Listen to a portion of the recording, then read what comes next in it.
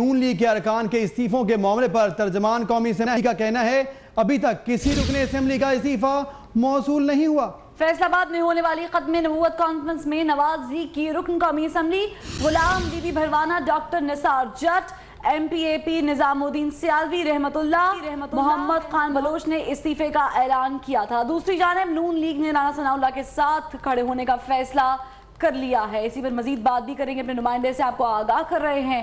ختم نبوت کانفرنس میں نون لیگ کے اراکین اسمبلی کے استعفوں کے معاملے پر ترجمان قومی اسمبلی کا کہنا ہے کہ ابھی تک استعفے موصول نہیں ہوئے۔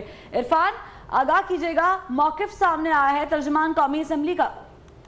دیکھیے، مسلم لیگ نون کی سینٹرل ایگزیکٹو کمیٹی کا کچھ روز پہلے اجلاس ہوا تھا۔ اس میں یہ طے کر لیا گیا ہے کہ نون لیگ اب مزید کسی بھی پریشر میں نہیں آئے گی اور کسی بھی قسم کے دباؤ کے تحت کسی بھی وزیر کا استعفیٰ نہیں لیا جائے گا۔ اور اب تک کوئی بھی جو استعفوں کا اعلان ہوا ہے وہ قومی اسمبلی میں تو موصول نہیں ہوئے۔ لیکن ساتھ ساتھ جو رانا ثناء اللہ کے استعفے کا معاملہ ہے اس پر پوری مسلم لیگ نون ان کے ساتھ کھڑی ہو گئی ہے۔ اور یہ طے کیا گیا ہے کہ حالات جو بھی ہو رانا ثناء اللہ سے استعفیٰ نہیں لیا جائے گا۔ وہ دیرینہ ساتھی ہیں مسلم لیگ نون کے۔